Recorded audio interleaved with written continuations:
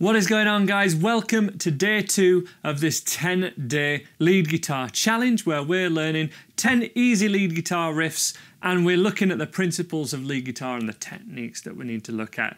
Now, I've done a few of these 10 day series on YouTube before, and day two tends to get way less than half, way less than 50% of the views of the first video. So first of all, I just want to thank you for watching this video, for trusting me with your lead guitar journey, and I really hope this is going to be super, super useful for you.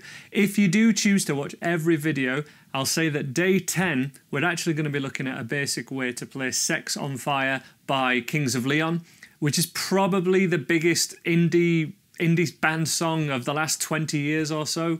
Um, so yeah, it's certainly something to be aiming for if you stick with this journey. But again, I also want to re emphasize go easy on yourself. If you miss a day, if it's a week between watching one video and the next, that's okay. The important thing is to come back, find where you were, and then pick it up from where you left off. And you're always in charge with when you do that.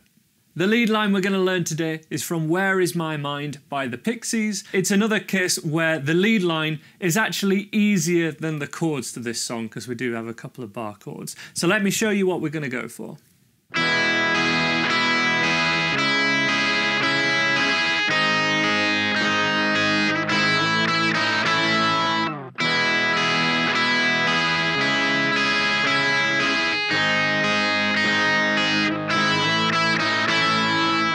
So this lead line goes between two notes on string 1 and string 2. And these are actually two notes from an E major chord. Now you may recognise E major chord as being this, but these two notes, if we think about this as actually a D major chord shape moved up one fret and then two frets. So D major moved up two frets. Here's the D major, one, two, and this is the sound of an E chord. These are the notes from an E chord. And all we need are the two notes on the thinnest two strings, which will play string one with finger one, string two with finger two. So this is fret four of string one, fret five of string two. Now we need to play those two notes with your fingers really curled over because we're going to need them both to ring out. If we have them really flat, string one isn't going to ring out. So we want to be on the tips like you would play a chord but we're going to play it with the first two fingers, thumb just sitting on top of the neck, giving us a little bit of something to hold on to so we're not floating or anything. And uh, again, at this side of the fret area, the fret area like this, rather than at this side. If we're at this side, we're going to get buzzing and, and we're going to have to press down way too hard. So we want to be at this side. And we're going to pick string two and then string one. Now I'm going to encourage that we pick string 2, so the first one, with a down pick and then string 1 with an up pick. This is just a small extra detail for those of you that want this and want to work on your technique.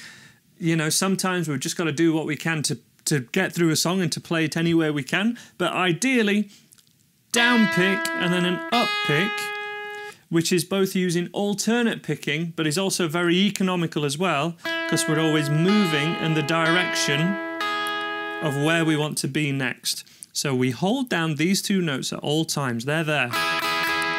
They're not going to move for the time being. And we pick string two, string one, string two, string one. And we do that four times. One, two, three, four. Please have a go at that now. Just try and make sure that you're resting your uh, thumb of your hand on the thicker strings or the pickup area like this and keeping as small a motion as possible to pick those notes. Please practice that unaccompanied on your own now, it's really important. Once you've done that, the middle finger then wants to move to fret 4, the same fret as finger 1. So this is going to be a little bit of a squash, but this is the best thing for beginners to do or anyone new to lead guitar because we're going to go from this just to this. We're just going to slide. And then we pick exactly the same again. String 2, string 1, string 2, string 1. In total so far that would give us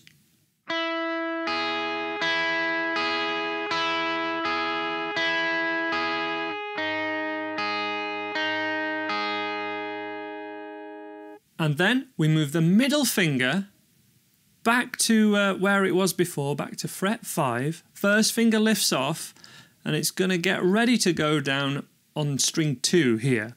And we're going to play this. One, two, three, four. Now to do that, we're actually strumming both strings together. So it's a little strum of the thinnest two strings of string one and two together. And then to the first finger, back to the middle finger. One, two, three, four. That makes the full thing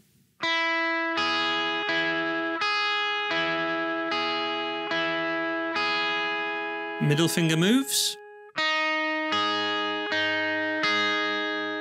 Middle finger moves again. First finger gets ready here.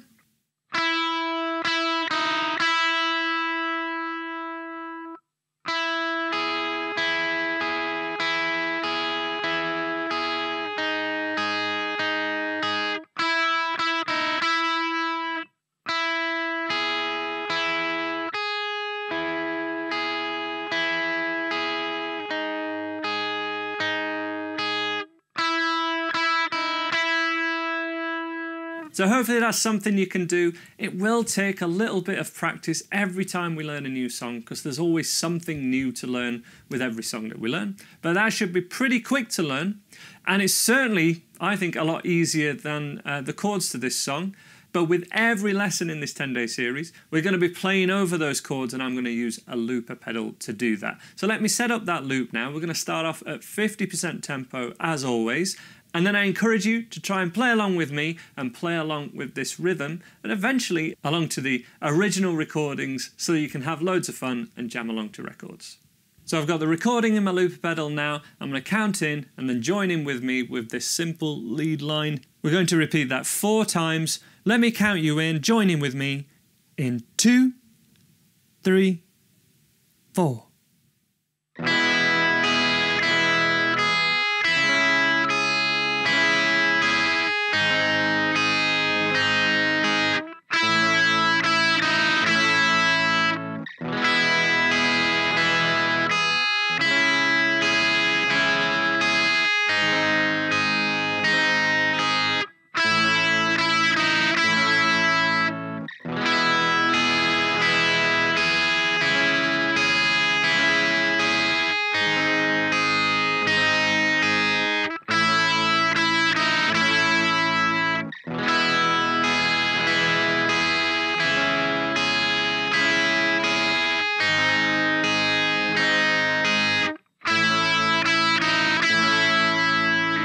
Hopefully, that's something you can do. You will have to try that multiple times for maximum benefit. And really, you, you want to be aiming for uh, being able to play it four times through without making a mistake. So, repeating what you've just done there, do the whole thing, do it again, do it again, do it again, without making a note mistake. Now, that's very hard, but it's just something to aim for again for maximum benefit. But now we're going to go for 75% of the speed of the original song. I've got those chords in my looper pedal. Get ready, get set, and join in with me in one, two, three,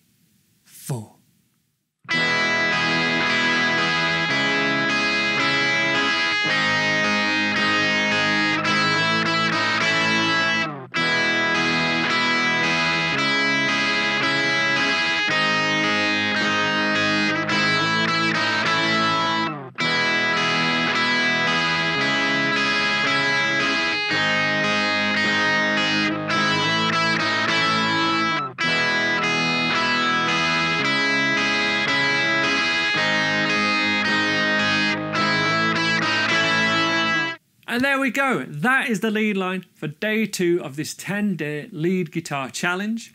Uh, remember, that was based on two notes from an E major chord, and we had some alternate picking in there. We're going to be covering string bending tomorrow, so this is a, one of the most fundamental uh, skills to be able to get down if you want to do proper lead guitar playing. So I hope to see you in day two. And if you want to learn how to play the full song, all the chords and everything to Where Is My Mind by the Pixies, I'll link to that uh, tutorial video down below. I hope to see you in day three of this free 10 day lead guitar challenge, and you'll find more help on the website and on the Andy Guitar app. Links in the description. Hope to see you there, guys. Take care. Bye for now.